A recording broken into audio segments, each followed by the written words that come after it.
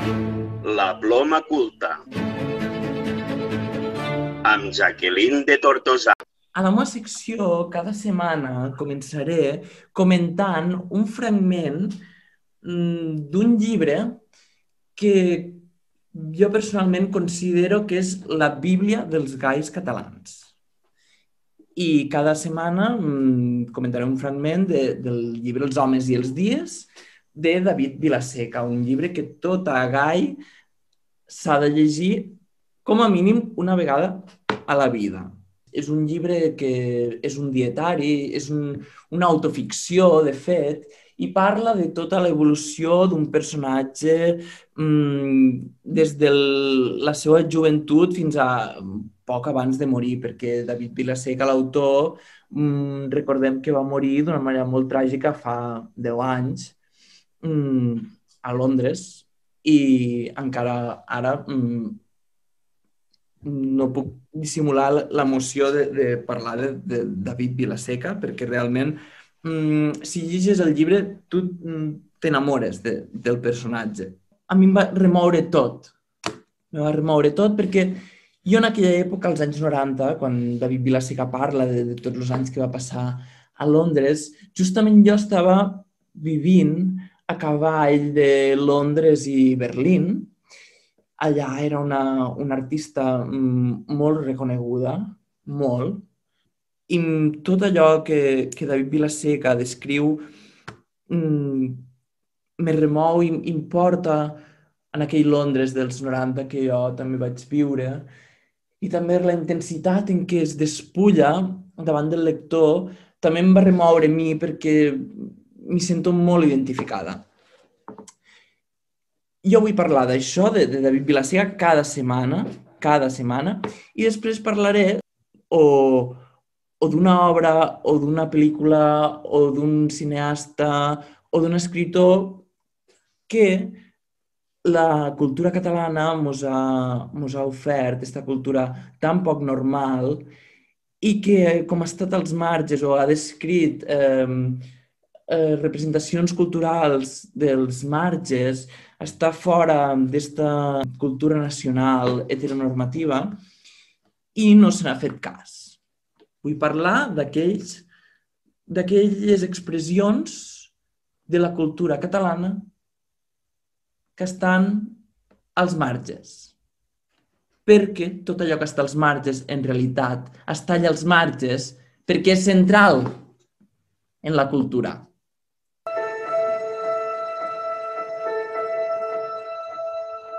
Barreres, línies simbòliques que ens separen del que ja no som. Anem avançant per la vida temptativament i de tant en tant, sense voler i sovint sense adonar-nos-en en el moment en què això passa.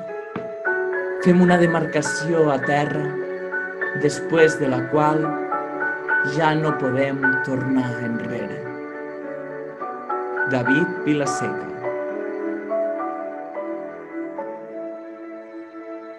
En esta cita, David ens parla d'allò que deixem enrere i que no es pot recuperar. I que no es pot recuperar. I la vida, mm, en els anys, t'ensenya aquestes coses. Són coses que, que ferixen, són dols que s'han de fer. La vida són dols constants. I, i David parla de, de tot això, parla de, de com ens sentim davant, davant d'estos trencaments, d'estos exilis o autoexilis que de vegades mm, hem de fer per, per tornar a començar i també per deixar enrere identitats que moltes vegades mm, han estat doloroses o han fet que les nostres vides, o, o ens sembla que, que fan que les nostres vides no tinguen sentit. I tot això mos diu la cita que acabo de llegir de David Vilaseca. La ploma culta amb Jacqueline de Tortosa. Avui parlaré mm, d'una cineasta que en un, si fóssim realment un país normal, com, com, com s'ha volgut mm, volgut dir. Tindria una estàtua, tindria una estàtua davant del Teatre Nacional de Catalunya o tindria una estàtua davant de la Filmoteca de Catalunya eh, i tota la gent la coneixeria. I sabeu què passa? Que aquesta senyora no la coneix ningú. I per això vull parlar-ne, perquè d'alguna manera m'hi sento identificada. Vull parlar de la Marta Vallebó Coll. Jo, jo petaré, jo petaré. Nena, a comprar. I no hi ha mai la meva talla. No em posis més nerviosa. Mama, fer-me la disfressada com una fifi mamarratxo? Jo no sóc així. Que no ho veus? El fragment que acabem d'escoltar és eh, del pertany al curtmetratge Intrepidíssima de l'any 1996 que va guanyar el premi del millor curtmetratge mm, pel públic al Festival de Cinema Gai i Lesbià de San Francisco. I aquest curtmetratge és que tinc molt d'interès, o sigui, he vist les pel·lícules de la, de la Ballet Bo, però aquest curtmetratge on, on el puc trobar? Pues este curtmetratge, mm, això mm, volia comentar-ho, però totes les pel·lícules de la Marta Vallebó, i això és una de les idees que vull eh, ressaltar avui a la meva secció, són molt difícils de trobar. Només estan a les biblioteques públiques o en mercats de segona mà i en format DVD o VHS, que ningú ja té reproductors de VHS. Llavors, aquest curtmetratge se troba dins del DVD de Costa Brava, que és la primera pel·lícula de la Marta Vallebó, i dins del DVD, que tot, tot i ser la primera pel·lícula de la Marta Vallebó, el DVD va sortir després de la última pel·lícula. I el, el DVD de la Marta Vallebó del, de Costa Brava inclou Intrepidíssima, que és, aquest, eh, que és un, un curtmetratge on hi ha una, una xiqueta que a mi em recorda molt a quan jo era menuda, perquè revela contra la feminitat hegemònica, de la mateixa manera que jo també mm, vaig ser un xiquet que es va revelar contra la masculinitat mm, que m'imposava. És un curtmetratge divertidíssim, és un curtmetratge que està gravat en un català impecable, en que avui en dia les ficcions que han mm, en català no tenen ni la meitat de qualitat mm, lingüística del, de tot el que se feia als 90 i tot el que va fer la Marta Vallebó i és mm, i la Marta Vallebó fa d'actriu principal i està graciosíssima com està a totes les seves pel·lícules. Dins del DVD de Costa Brava hi ha també Arlequín Exterminador, que és un altre curtmetratge de la, de la Marta Vallebó, i hi ha mm, fotos i hi ha tota una secció. És molt interessant. Informació també del, del rodatge Costa Brava. Però qui és la Marta Vallebó Coll? La Marta Vallebó Coll és la primera directora lesbiana que va dirigir una pel·lícula de protagonista lesbiana a l'estat espanyol i també als països catalans i ho va fer d'una manera magistral i també precària. En la comèdia que he comentat abans, Costa Brava, que és una òpera prima plena de frescor, eh, té ironia, té un guió excel·lent i se va rodar només en 13 dies a un terrat. I als carrers de Barcelona i en materials eh, prestats. La pel·lícula en qüestió, Costa Brava, estava gravada en anglès perquè la Marta Vallet Bocoll en aquell moment o acabava de fer, de fet, un màster a una universitat americana, un màster en direcció, ella és eh, química de professió, i al final de la meva secció diré perquè l'he trobat, he trobat a la Marta Vallebó Coll, diré què fa ara, perquè és una vergonya, i això també vull que la meva secció servisca per a ficar esta ignomínia i esta vergonya a, la, a, la, a les orelles dels oients que ens escolten, que tinguin la paciència d'escoltar les nostres dèries, vull ficar la ignomínia de, de, de com s'ha maltractat la cultura feta als marges a Catalunya. Mm, a Costa Brava fa com una... Ella com que mostra mm, la Catalunya i la Barcelona mm, postolímpica i a mi em va semblar també com una pel·lícula, quan la vaig veure, molt innovadora en el format. La comèdia romàntica estava bastant ben trebada. Cal dir que és una pel·lícula de lesbianes que acaba bé, que això és, és bastant rellevant, i cal dir també que dona una imatge de Barcelona com una ciutat oberta, una ciutat, el que dirien avui les joves adotzenades, una ciutat gay-friendly, i va, va ajudar com una mica a construir mm, no? a construir esta, esta, esta visió que es té de, de Barcelona i de Catalunya com un país més obert. Val. Mm, tot això us volia explicar després també, però avui també volia centrar-me en los, en l'últim film que va gravar la Marta Vallet Bocoll, que és un film que es diu Sevigné, que va guanyar molts premis, i a Sevigné la Marta Vallet Bocoll també parla d'esta Barcelona eh, del període entre els Jocs Olímpics i la crisi de l'any 2008, l'època que en dien de les vaques grasses, una, una Barcelona que viu encara de l'èxit dels jocs, mm, eh, no? en què es fa, eh, de fet, la, la pel·lícula Sevigné és, eh, coincideix amb l'any del Fòrum de les Cultures i també és l'any, no és l'època en què es consolida també la marca Barcelona com, com un resort turístic en totes les mm, en tot el que, el que això comporta. No?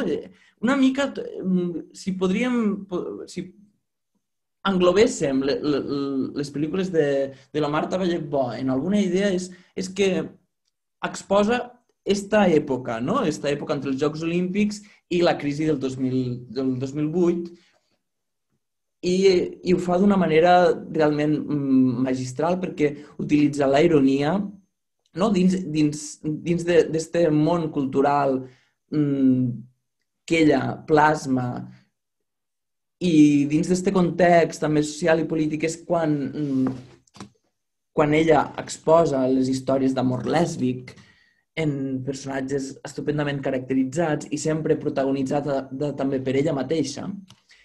I Sevigné és una pel·lícula que realment el repartiment és increïble. No? El repartiment eh, és mm, la, la mateixa Marta Vallembó, després hi ha l'Anna Azcona, que té un... Gran actriu, perdona que t'interrompi, i perdó per aquesta interrupció. Endavant, Jacqueline, pots continuar. No, no, estic completament d'acord en, la, en la interrupció que m'heu fet, perquè realment l'Anna Azcona fa un paper brillant a Sevigné.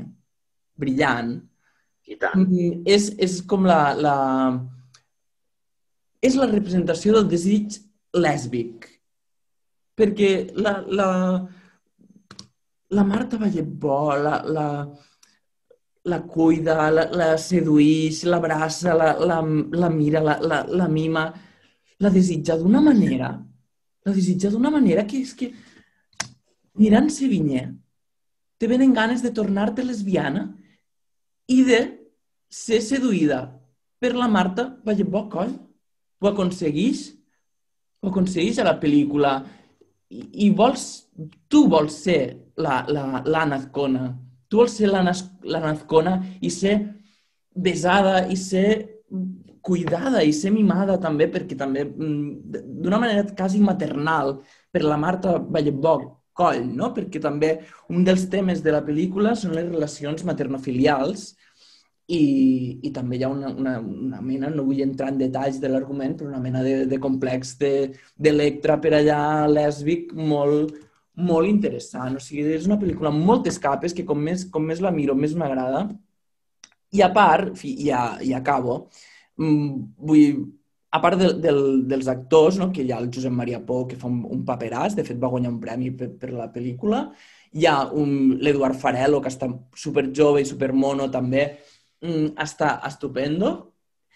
Mm, a part d'això, la Marta Vallebó, jo crec, i ara vull entrar aquí en un debat, jo crec que no va fer més pel·lícules perquè no li van deure donar més subvencions. Perquè realment a la pel·lícula de, de Sevigné fa un retrat, una ironia del, de l'ambient cultural mediocre de la Catalunya dels principis dels, do, dels 2000, Sí, sí, sí. fa una, una, una radiografia finíssima de la cultura institucionalitzada catalana del moment en personatges brillants, com per exemple un programador mediocre, que és una, després també surt una representant del Departament de Cultura mmm, que vol fer un cicle de teatre de Mercè Rodoreda a Gàmbia. L'Anna Azcona és la directora del, del Teatre Nacional de Catalunya, que s'acaba d'inaugurar fa poc, i la Marta Vallet Bo és una, una dramaturga que vol presentar una obra.